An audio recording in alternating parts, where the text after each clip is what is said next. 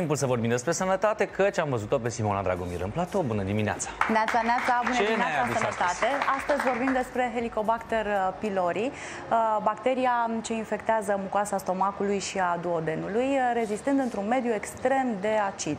Infecția cu Helicobacter pylori este cea mai frecventă infecție din lume, fiind principala cauza apariției gastritei, a ulcerului gastric, reprezintă de asemenea un important factor de risc pentru apariția cancerului gastric. Uh, cum se depistează Helicobacter pylori și ce este de făcut, aflăm acum. cu Răzvan și Dani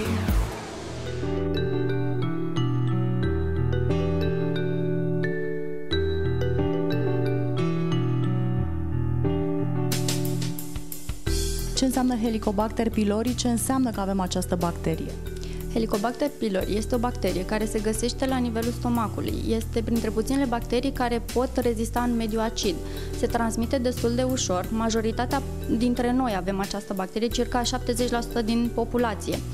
Uh, există multiple moduri de manifestare, fie complet asimptomatic pacientul, fie uh, prin dureri la nivelul abdomenului superior, prin balonare, arsuri, um, senzația de um, plenitudine uh, postprandială, miros neplăcut al respirației, um, uneori pot exista dureri atroce, atunci semnalând de fapt apariția complicațiilor acestei infecții, adică ulcer, gastrită, la bătrâni, infecția cronică putând da chiar um, uh, cancer.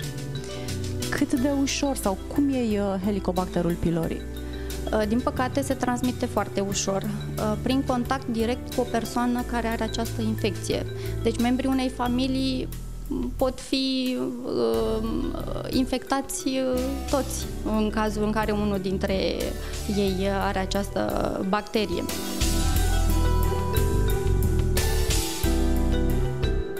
Prevalența infecției la noi ați aflat că este foarte mare, ar trebui să tratăm un număr foarte mare de uh, oameni, iar tratamentul este unul uh, îndelungat, uh, durează 10-14 zile, presupune asocierea mai multor antibiotice care au efecte secundare uh, evidente și atunci trebuie să ne limităm totuși uh, indicațiile și de testare.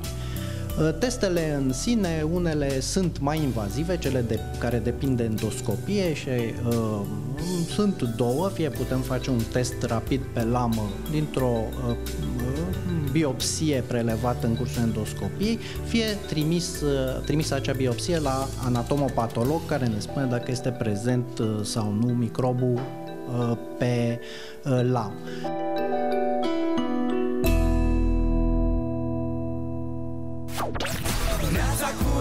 Și Dani.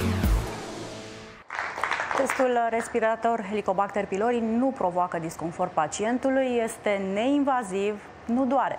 Este un test uh, ce poate fi făcut de oricine, chiar și de copii și de femeile însărcinate. Atât pentru astăzi. Sunt Simona Dragomir, ne revedem uh, luni în jurul orei 10 aici la Neața ca să spunem bună dimineața. Sănătate, zi minunată să avem cu toții. Răzvan? Erau vremuri când eram specialist în H. pylori ăsta, puteam să-ți vorbesc la nesfârșit despre el. Slavă Domnului că am scăpat! Aia glumă din asta medicală.